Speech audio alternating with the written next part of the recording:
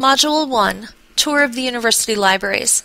The goal of this module is for the viewer to become familiar with the Engineering Library. The Engineering Library is located at 325 Hammond Building in University Park.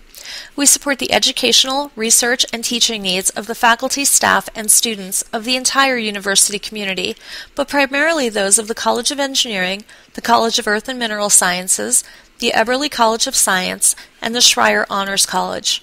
We also serve hundreds of researchers at the Applied Research Lab, the Material Research Institute, the Thomas D. Larson Pennsylvania Transportation Institute, the Lunar Lion Mission, and over two dozen other specialized centers.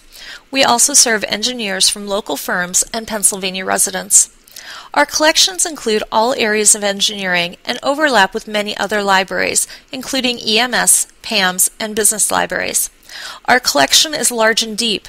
Due to limited space, more volumes than you see here are available are available in annexes, plus electronic resources. We also have an extensive print and electronic collection of reference books and handbooks. We have ASTM, IEEE collections, and over 500,000 technical reports available on microfiche.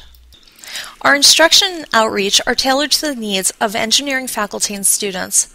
Our course reserves contain textbooks for all College of Engineering courses and other select courses. We have a group study room and other collaborative areas which include workstations and whiteboards. For printing needs, we have both black and white printers and a color printer for 8.5 by 11 and 11 by 17 prints. We also have a release station for remote printing. A popular service that is provided to our patrons is the use of the mobile device charging station. We also have microform scanners and portable fiche readers for loan. This concludes our brief tour of the engineering library. If you have time, visit us and discover what we have to offer.